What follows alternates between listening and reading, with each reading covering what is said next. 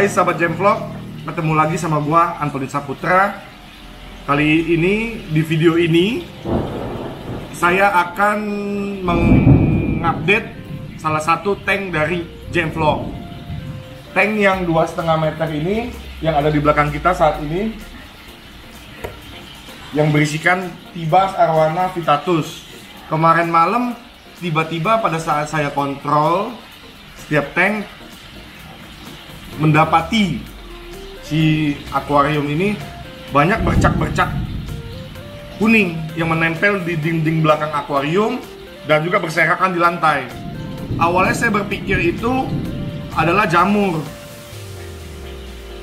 Tapi kok banyak dan begitu cepat tumbuhnya. Akhirnya saya coba untuk menghubungi tengah malam tuh. Saya coba menghubungi si Richie dari Body Fish Nah, menanyakan ini kuning-kuning ini apa saya videokan ke dia dan besok saya jelaskan ke dia dan menurut informasi dia ini adalah telur dari pibas.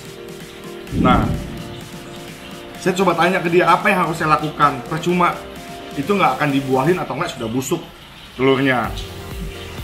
Ini bagian dari pengalaman pertamanya Vlog karena baru satu bulan lebih Vlog handle ikan predator dan langsung bertelur Walaupun sebelumnya di dua atau tiga tahun lalu Jamvlog sempat membudidayakan koi, membudidayakan koki, habis itu membudidayakan gapi.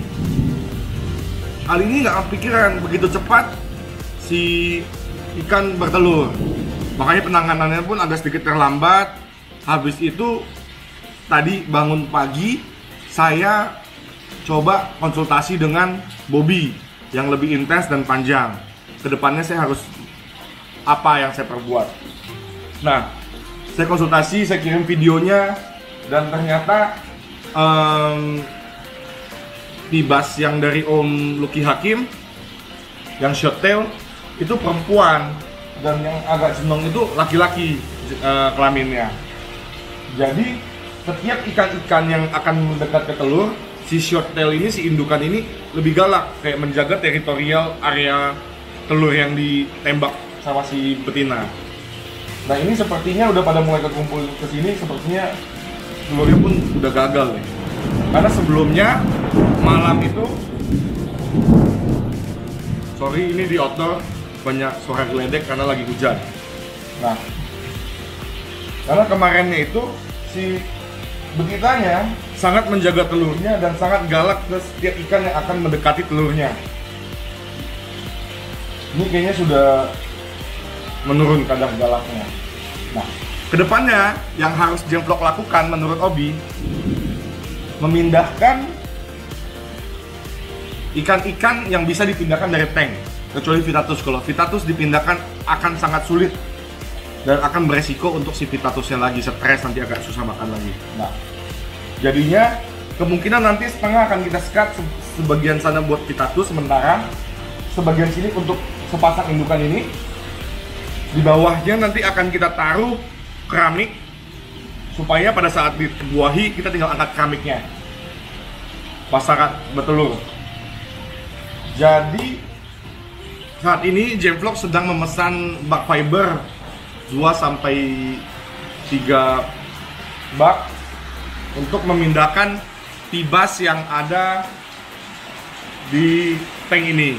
Jadi tibas arwana mau akan kita pindahkan sementara karena si supaya fokus ke pemijahannya si pasang aduh ibas ini. Menurut informasi dan apa ya dibilangnya ya? Masukan juga untuk sahabat-sahabat Jevlog ketika mendapati ibas atau ibas yang sedang bertelur seperti ini persiapkanlah keramik dua biji di bawahnya supaya gampang diangkat telurnya kemudian siapkan heater untuk mempersiapkan ketika si telur sudah ditembak. Jadi si itu dipindahkan dan juga dipanaskan airnya supaya tidak busuk telurnya. Jadi airnya pun satu jengkal. Nggak usah terlalu dalam. 3 sampai 4 hari um, si telur akan menetas jadi buraya menurut informasinya Obi Em, kemudian intensitas selama si indukan ini tidak terganggu dan tidak stres, intensitas untuk dia bertelur 2 sampai 3 minggu sekali. Menurut si Bobby.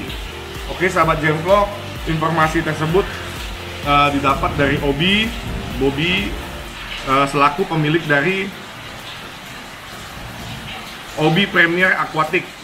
Nah, bagi teman-teman yang ingin mencari ikan-ikan predator import, ikan predator langka, bisa langsung kepoin Instagramnya ini Obi Premier Aquatic. Ada di Instagram di Instagram juga ada bionya. Nanti bisa langsung dichat ke si Bobby. Oke begitu aja sahabat Jam Vlog perkembangan dari si Tibas nantinya tiga atau satu bulan ke depan saya akan mengupdate perkembangan mengenai si Tibas ini apakah bisa bertelur lagi? Apakah bisa berhasil jadi ibu raya? Gitu kan? Ikuti Jam Vlog terus. Jangan lupa untuk share like dan share subscribe dulu like kemudian share konten-konten atau video-video Jam Vlog sebanyak-banyaknya agar semakin banyak lagi yang tahu mengenai video-video Jam Vlog oke sahabat Jam Vlog sampai jumpa